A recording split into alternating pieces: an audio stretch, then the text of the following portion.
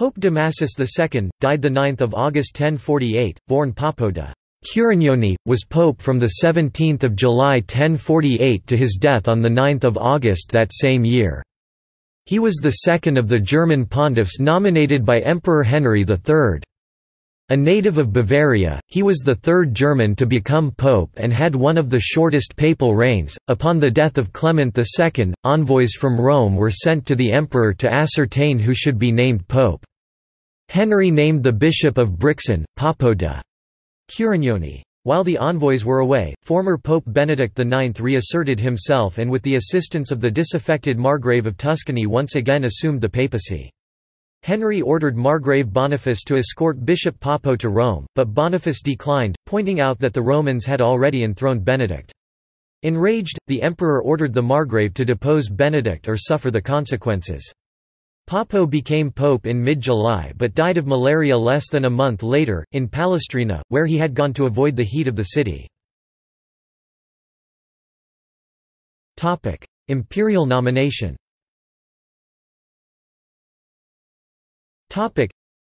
Given the display of imperial power Henry III had inflicted on the Romans in intervening against Pope Gregory VI and installing Clement II, it is not surprising that on Christmas Day of 1047, an emissary was sent by the Roman people bringing news of Clement II's death to Henry III and asking him, in his position as patricius of the Romans, to appoint a successor. Henry had been engaged in an indecisive campaign in Frisia, and was in his palace at Pöhlde in Saxony when the embassy found him.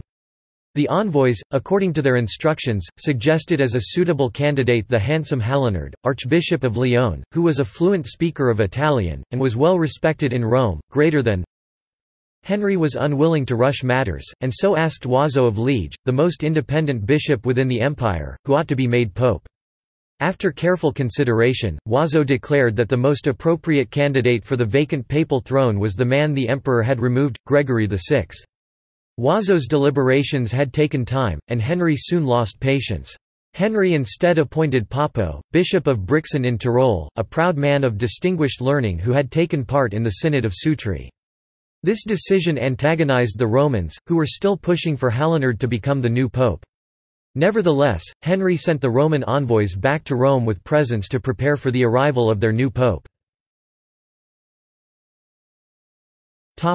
Arrival in Italy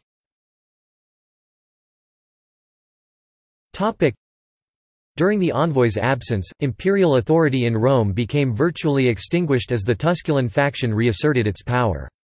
A former pope, Benedict IX, residing at Tusculum, had been watching the situation in Rome intently, and had decided that now was his opportunity to reclaim what was his.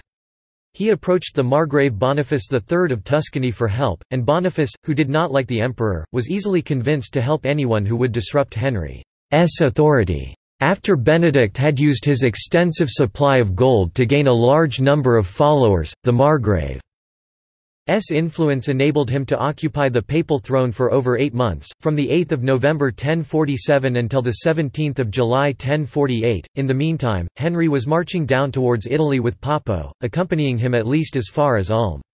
Here it came to light that the papal exchequer was close to bankrupt, and so Poppo was allowed to retain the revenues of his see. In addition, a deed was drawn up on 25 January 1048 that granted Poppo an important forest in the valley of Puster.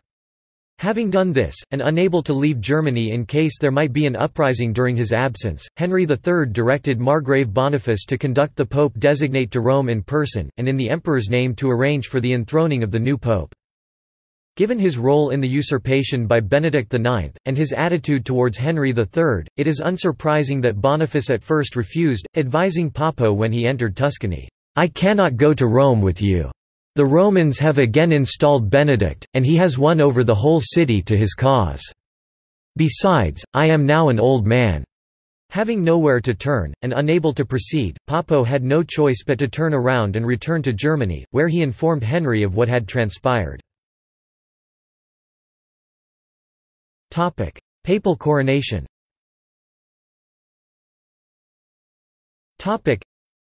Upon receiving the news, Henry was furious. Poppo was quickly sent back to Boniface, carrying with him a letter from the emperor which ordered him to arrange the expulsion of Benedict and the enthroning of his successor.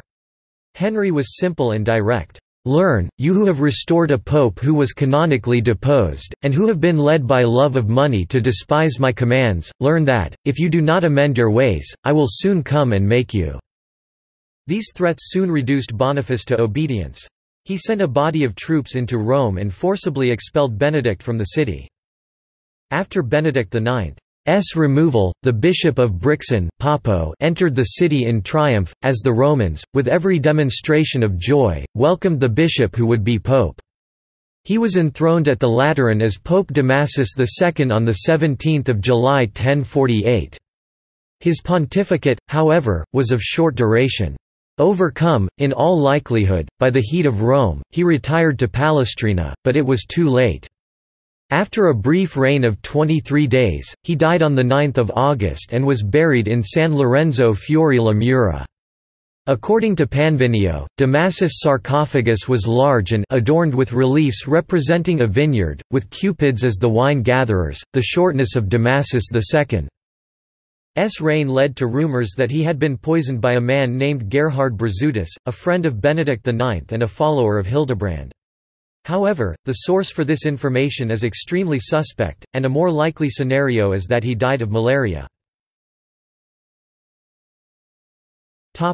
See also. Topic. List of popes. Topic. References.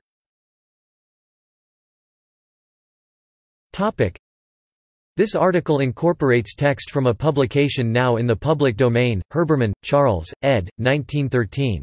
Pope Damasus II. Catholic Encyclopedia. New York, Robert Appleton. External links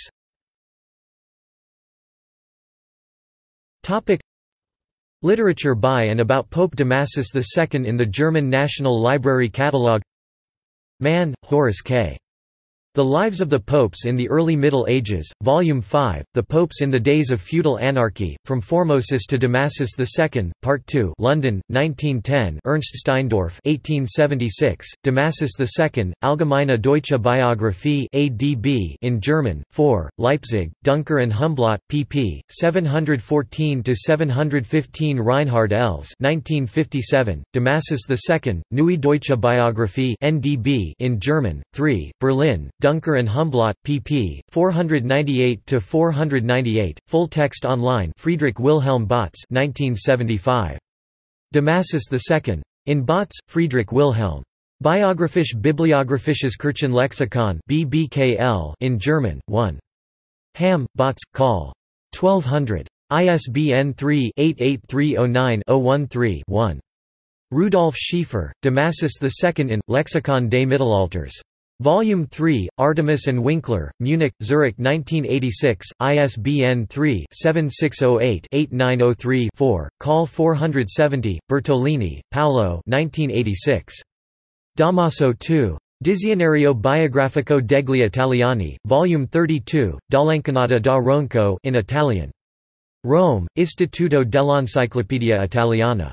pp. 289–292. Paolo Bertolini, Damaso II. In, Massimo Bray ed., Enciclopedia dei Papi, Istituto della Enciclopedia Italiana, Volume 2 Niccolò I, Santo, Sisto IV, Rome, 2000, OCLC 313581688, pp. 153–156. Hans Gottler, Spurensuche nach Papst Damasus II, in Pildenau am Inn, Geschichte und Legende des 1.